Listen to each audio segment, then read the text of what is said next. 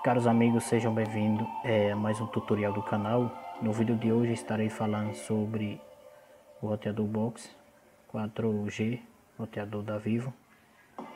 E o modelo dele, pessoal, é, é um box WNC WLD71 é, traço T5A.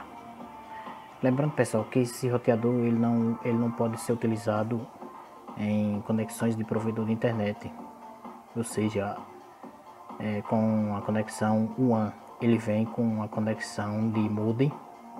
Lembrando que nesse modem coloca um chipzinho da chip que vocês têm aí da Vivo. E ele tem ele tem quatro conexões LAN que você pode conectar dois computadores, dois notebook, ou seja, qualquer seja uma televisão, essas televisão moderna aí vocês podem estarem conectando. Aqui atrás dele eu vou mostrar, ó temos aí quatro, é, digamos assim, quatro conexões LAN, LAN 1, LAN 2 e LAN 3 e LAN 4. Essa parte verde aí, pessoal, onde conecta o telefone do cliente ou usuário.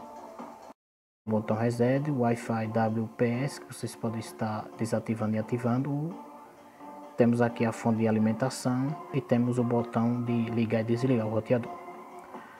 É, esse modelo aqui, pessoal, foi um, um rapaz aqui acredito que o dono dele queira que eu configure somente o Wi-Fi. Bom pessoal, esse tipo de roteador aqui, o usuário coloca um chip nele cadastrado com algum plano, seja qual for o plano de internet 4G, para acessar a internet e coloca no roteador.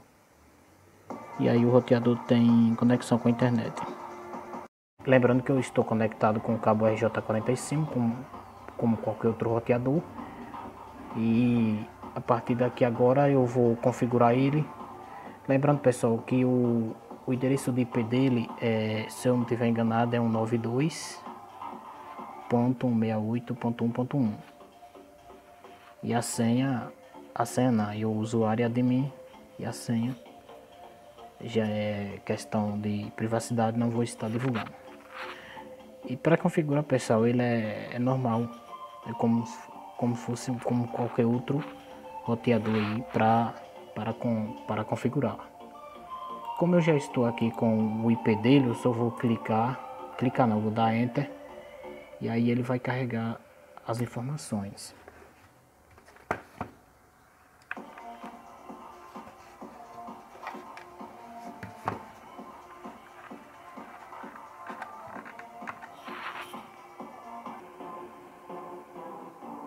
Bom pessoal, é, Lembrando que o IP dele é 1921.168.1.1 e aqui vamos fazer o login. Eu vou dar uma pausa no vídeo para depois prosseguir, beleza?